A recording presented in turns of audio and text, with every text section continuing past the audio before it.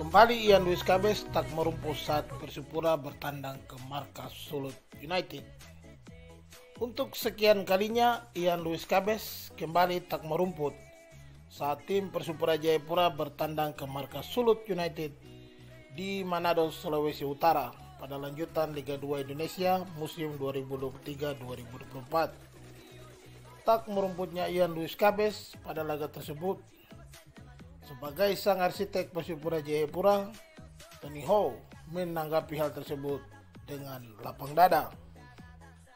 Nah, laga Sulut United versus Persipura Jayapura digelar di Stadion Kalabat di kota Nyur Melambai, julukan dari kota Manado pada Jumat 6 Oktober 2023.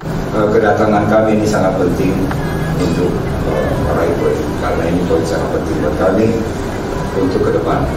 Jadi pemain-pemain pun saya lihat sudah siap untuk melaksanakan tugas-tugas mereka. Saya rasa itu dulu. Soalnya tidak ada pertanyaan, tapi dipersilakan. Target dari Persipura, Coach? Uh, yang pertama, yang saya inginkan adalah pemain-pemain saya bisa tampil dengan enjoy, bisa baik bermain, itu dulu. Masalah hasil saya kembalikan kepada yang di atas. Mungkin saya itu lagi pertanyaan. Apa?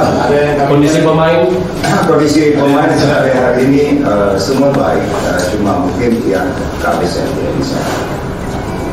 ada masalah cedera atau apa? Kenapa? Ada yang belum fit atau Uh, cedera, ada cedera paha.